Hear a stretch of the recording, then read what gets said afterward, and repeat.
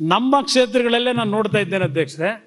ಬರೀ ಐನೂರು, ಆರುನೂರು ಇರ್ತಕ್ಕಂಥ ಪಂಚಾಯತಿಲಿ ಒಂದು ಕಾಲು ಕೋಟಿ, ಎರಡು ಕೋಟಿ ಹಣ ಇವತ್ತು ಖರ್ಚು ಮಾಡ್ತಾ ಇದ್ದಾರೆ. ಇನ್ನು ನಾವು ಅಸೆಂಬ್ಲಿ ಚುನಾವಣೆ ನಡೆಸೋದೇ ಹಾಗೆ ಮುಂದಿನ ದಿನಗಳಲ್ಲಿ. ಇದು ಹೋಗ್ತಾ ಇರತಕ್ಕಂಥ ಮಾರ್ಗ ಇದು, ಪಂಚಾಯತಿ ಚುನಾವಣೆಗಳು. ಇಲ್ಲಿ ನಾವು ಚುನಾವಣೆ ನಡೆಸಬೇಕಾದ್ರೂ ಚುನಾವಣೆ ನಾವು ಇನ್ವೆಸ್ಟ್ಮೆಂಟ್ ಮಾಡಬೇಕು. ನಿಮ್ಮ ಜಿಲ್ಲಾ ಪಂಚಾಯತಿ, ತಾಲೂಕ್ ಪಂಚಾಯತಿ ಚುನಾವಣೆ ಬಂದರೆ ಆ ಚುನಾವಣೆಗೂ ನಾವೇ ಮಾಡಬೇಕು.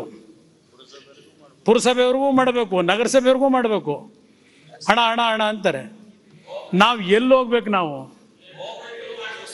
ಸೊಸೈಟಿಗಳದ್ದು ಶುರುವಾಗಿದೆ ಈಗ. T A P C M S ಚುನಾವಣೆ ಹಣ, ಎರಡು ಲಕ್ಷ ಕೊಡು, ಐದು ಲಕ್ಷ ಕೊಡು ಅಂತಾರೆ. ಡೈರಿ ಚುನಾವಣೆ. ಇದು ಎಲ್ಲಿ ಹೋಗ್ತಾ ಇದ್ದೇವೆ ಅಧ್ಯಕ್ಷರೇ? ನೀವು ಒಂದು ಉತ್ತಮವಾದಂಥ ಸೂಕ್ಷ್ಮವಾದಂಥ ವಿಚಾರ ಇಲ್ಲಿ ತಂದುಬಿಟ್ಟಿದ್ದೀರಿ. ಬಟ್ ಇದಕ್ಕೆ ಬೆಕ್ಕಿಗೆ ಗಂಟೆ ಕಟ್ಟರು ಯಾರು ಅನ್ನೋದು ಇದು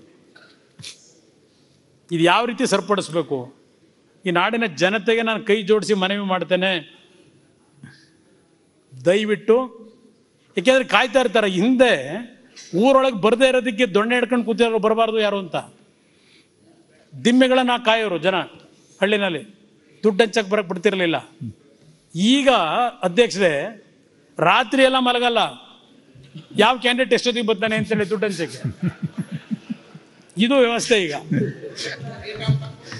ಮೂರು ಪಾರ್ಟಿಯವ್ರ ಹತ್ರಲ್ಲೂ ದುಡ್ಡು ತಗೋತಾರೆ. ನಾವು ಇಷ್ಟು ದುಡ್ಡು ಹಂಚಿದೀವಿ ನಾವೇ ಗೆಲ್ಲೋದು ಅಂತ ಲೆಕ್ಕಾಚಾರ ಮಾಡ್ತಾ ಇದ್ದೀವಿ. ಅಲ್ಲ ದುಡ್ಡು ದುಡ್ಡು ಹತ್ತು ಮುಂದೆ ಯಾರು ಬಡದಾಡಂಗಿಲ್ಲ ರೀ ಶಾಂತಿ ಇರ್ತೈತಿ ಊರಾಗ ಎಲ್ಲ ಎಲ್ಲ ಎಲ್ಲ. ಆಗ ಎಲ್ಲ ಸರ್ವಧರ್ಮಗಳು ಎಲ್ಲ ಎಲ್ಲ, ಎಲ್ಲ ದುಡ್ಡು ತಗೊಳ್ಳೋದ್ರಲ್ಲಿ ಒಂದು ಮನೆಯಲ್ಲಿ ಮೂರು ಬಾವುಟ ಇರುತ್ತೆ. ಒಂದೇ ಮನೆಯಲ್ಲಿ ಮೂರು ಬಾವುಟ ಇರುತ್ತೆ.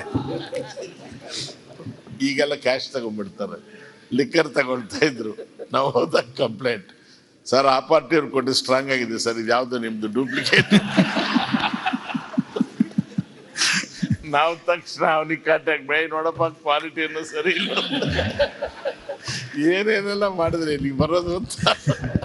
ಇಲ್ಲ, ಕುಮಾರಸ್ವಾಮಿ ಅವರು ತಾವು ಒಂದು ಬಹಳ ಗಂಭೀರವಾದ ವಿಷಯ ಹೇಳಿದ್ರಿ. ಪಂಚಾಯತ್ ಚುನಾವಣೆಗೂ ಇವತ್ತು ಆ ಪ್ರಮಾಣದ ಖರ್ಚು ಮಾಡಬೇಕಾದ ಸ್ಥಿತಿ ಬಂದಿದೆ ಅಂದರೆ. ಅಂದರೆ ನನ್ನ ನನ್ನ ಮೂಲ ಇದು ಏನು ಅಂದರೆ, ಈ ಮೊನ್ನೆ ವಿಧಾನ ಪರಿಷತ್ತಿನ ನಡೆದಿದ್ದು ನೋಡಿದ್ದೀವಿ ನನಗೆ ವಿಧಾನ ಪರಿಷತ್ನಲ್ಲಿ ಈ ರೀತಿ ವಿಷಯಗಳು ಎಷ್ಟು ಚರ್ಚೆ ಆಗುತ್ತೋ ಇಲ್ಲೋ ಗೊತ್ತಿಲ್ಲ ನನಗೆ. ವಿಧಾನ ಪರಿಷತ್ತಿನ ಸ್ಥಿತಿಗತಿಗಳು ಇತ್ತೀಚಿನ ವರ್ಷಗಳಲ್ಲಿ ಏನಾಗಿದೆ ಅನ್ನೋದನ್ನು ನೋಡ್ತಿದ್ದೀವಿ ನಾವು. ಅಲ್ಲಿ ಏನಾಯಿತು ಅನ್ನೋದು? ನಿನ್ನೆ ಕೃಷ್ಣ ಬೈರೇಗೌಡರು ಹೇಳಿದರು, ನಾಲ್ಕು ಗಂಟೆ ತನಕನೂ ಓಟ್ ಹಾಕದೇ ಇರ್ತಾರೆ. ಮೂರು ಪಾರ್ಟಿಯಿಂದ ಫೋನು ಬಂದ ಮೇಲೆ ಆಮೇಲೆ ಯಾರಿಗೂ ಅವ್ರು ಓಟ್ ಹಾಕಬೇಕು, ಅದನ್ನು ಓಟ್ ಹಾಕ್ತಾರೆ ಅಂತ ಮೊನ್ನೆಂದು ಈ ಚುನಾವಣೆದು ತಾಜಾ ಉದಾಹರಣೆಗಳಿದೆ. ಅಂದರೆ ಒಂದು ಊರಿನಲ್ಲಿ ಮತದಾರರೇ, ಸಣ್ಣ ಊರು, ಸಣ್ಣ ಊರಿನ ಸಣ್ಣ ವಾರ್ಡು, ಪಂಚಾಯತ, ಪಂಚಾಯತ್ ವಾರ್ಡ್ಗಳು, ಅಲ್ಲೇ ಈ ಸ್ಥಿತಿಗಳು ನಾವು ತಲುಪಿದ್ದೀವಿ ನಮ್ಮೆಲ್ಲರ ಅನುಭವದಲ್ಲಿ ಇರೋದು ಇದು ಇದು ಬರೀ ಅಲ್ಲಿದೊಂದು ಇಲ್ಲಿದೊಂದು ಅಂತಲ್ಲ. ಇದಕ್ಕೆ ಈ ಎಲ್ಲ ಆರೋಪಗಳಿಗೆ ನಾವು ಹೊಣೆಗಾರರಾಗ್ತಿದ್ದೀವಿ ಆದರೆ ಆ ಜನ ಸಮುದಾಯ ನಮ್ಮಿಂದ ಏನು ಬಯಸ್ತಾ ಇದೆ, ಅದು ಇವರನ್ನ ನಾವು ಹೇಗೆ ತಡೆಗಟ್ಟೋದಕ್ಕೆ ಅಥವಾ ಅಲ್ಲಿ ಹೇಗೆ ಜಾಗೃತಿ ಮೂಡಿಸೋದಕ್ಕೆ ಸಾಧ್ಯ ಅನ್ನೋದು ಸವಾಲಿನ ವಿಷಯ ಇದೆ.